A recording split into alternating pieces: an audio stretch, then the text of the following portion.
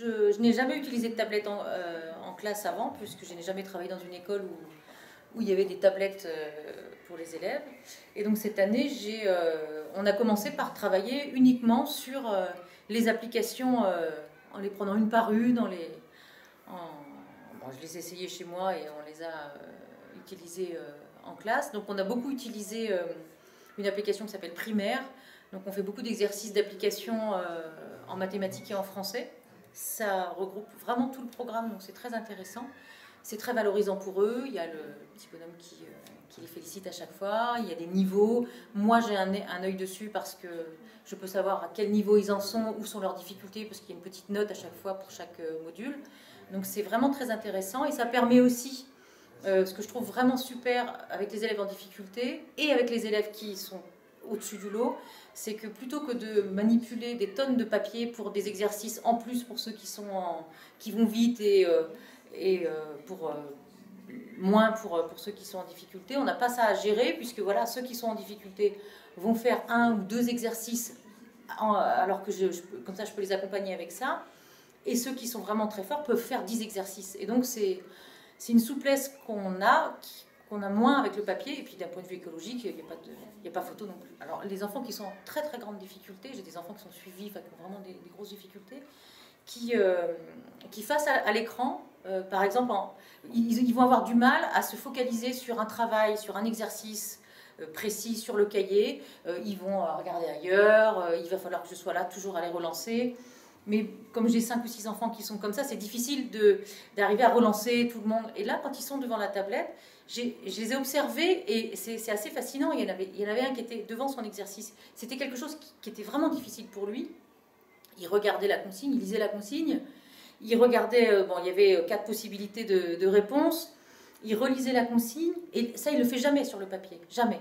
Jamais. D'abord, il ne lit pas la consigne, il attend qu'on lui lise, parce que, voilà, il attend qu'on lui lise. Et là, il lisait la consigne plusieurs fois, il vérifiait, parce qu'il voulait gagner. Il voulait vraiment gagner. C'est un enfant qui joue beaucoup aux jeux vidéo, et pour lui, c'est dans ce domaine-là. Il faisait des maths, mais euh, il faisait pas des maths, il voulait gagner au jeu, c'est tout.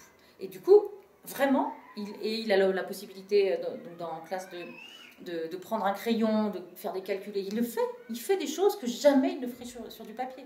Donc ça, c'est et, tous ils sont comme ça. Bon, alors évidemment que les élèves qui sont très forts, eux, ça leur donne plus à manger, comme on dit, c'est euh, ça c'est super.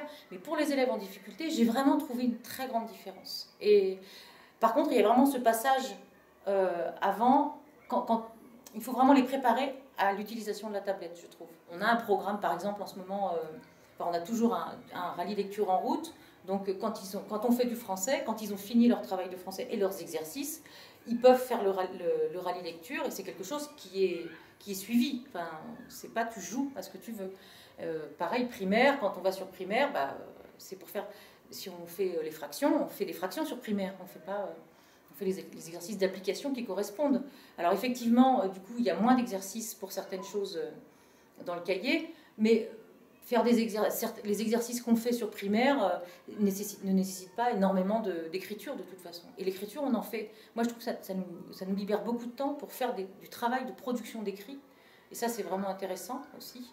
Et puis, euh, bah, l'utilisation de la main, euh, quand on fait des productions d'écrit qui sont ensuite, si on fait un petit livre, par exemple, sur, sur Book Creator, bah, on le fait d'abord au cahier de brouillon, on le réécrit. Enfin, moi, en tout cas, je passe par là je passe par l'écriture à la main, et, sauf pour quelques enfants qui, ont des difficultés, euh, qui sont dyslexiques ou dyspraxiques, qui ont besoin de cet outil-là pour, euh, pour écrire. Sinon, les autres passent par l'écriture directe, l'écriture manuelle.